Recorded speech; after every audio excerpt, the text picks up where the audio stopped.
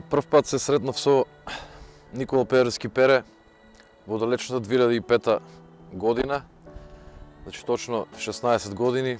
А добив повик од нашиот Благој Антовски баге, нашиот бубњар. Ме извести дека веќе неколку месеци пред тоа се спремат и го на еден начин реновираат бендот Нокаут и имале потреба од саксофонист. А, така да по препорака на Баге бев контактиран од Пере истиот ден.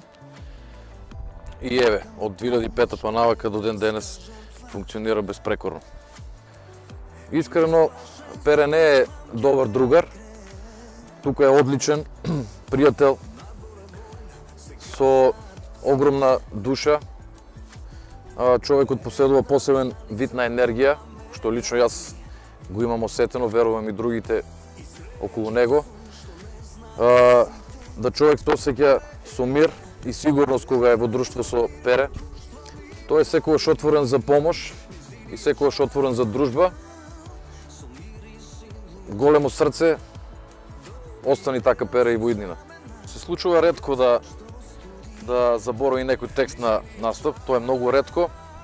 Меѓутоа и сето тоа е во граници на нормалата, гледајќи од негова позиција во која се наоѓа на концертите и целата таа комуникација, енергија која дава на публиката, на нас како бенд, сето тоа е во ред, а, нема никакви замерки ниту од нас тука и публиката да му помогне.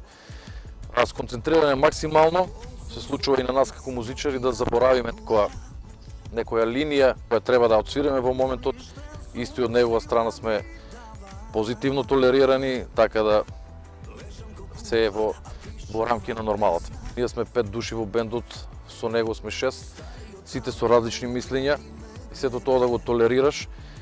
Веруваме дека треба многу енергија, секогаш гледа да ги балансира работите и многу многу ретко мислам дека и никогаш не не сум го сретнал во некоја нервозна ситуација. Секогаш пробува или да да го реши проблемот или да го прикрие за да не влијае лошо и на сите нас околу него.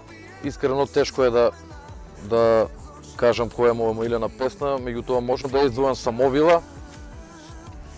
Знаеш кај да ме најдеш. Лебедот бел и бе нека биде и последната последниот хит Шал. Ме нема ли некоја комуникација во во живо да се видиме. А, меѓутоа сум сигурен дека и не би се пожалил дека е неотспан. А, посветена максимално го следам на својата трета керкичка Софија, душа златна. А, го дава максимумот, ова е нов период за него, нов почеток на еве на некоја декада од животот. Имам две прашања до Пере.